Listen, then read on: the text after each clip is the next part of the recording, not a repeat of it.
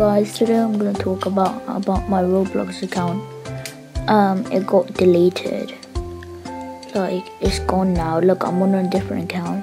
And if I search up my name which is tortoise124 I don't exist. I really don't exist anymore. Yeah people named tortoise124 it's and I got banned because I made like a build and one of those build had like a bad link on it.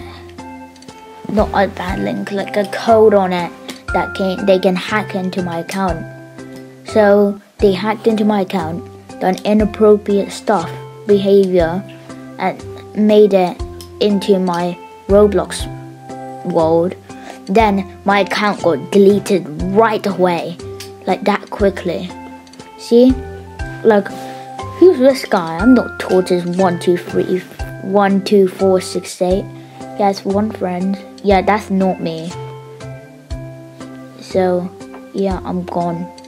I made a different account, but all the friends I added on my other account, like, but I can find them again, but it's kind of sad because I have some exclusive stuff from like old promo codes that I can't get now. And it's very sad because my Roblox account is gone. But I can redo my avatar probably. I can get some stuff. But it won't be the same anymore. It's very sad. Look at my Roblox account. I had it for like a long time, a very long time.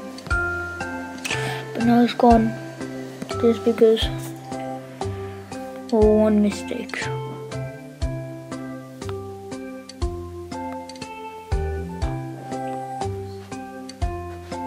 And because of that, I think I don't want to change my avatar.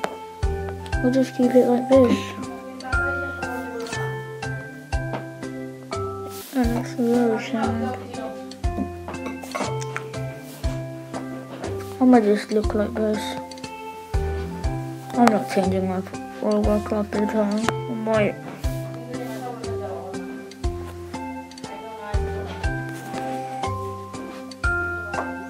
Get this stuff. I'ma just look like I'ma just be this bacon. It doesn't matter.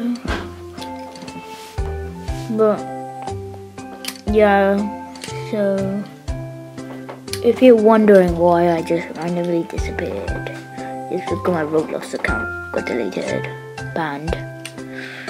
So yeah, and it's very unfair.